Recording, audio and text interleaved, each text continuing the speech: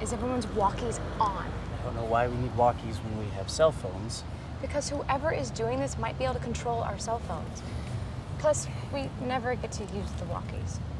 I brought pepper spray for the demons. So I don't think that's necessary. I do. That is why I brought it. Where's James?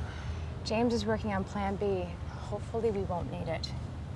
Way, you keep recording no matter what. I want all this caught on tape. This time, we're not going for proof. We're gonna kick some ass. I'm so proud of you. Thank you.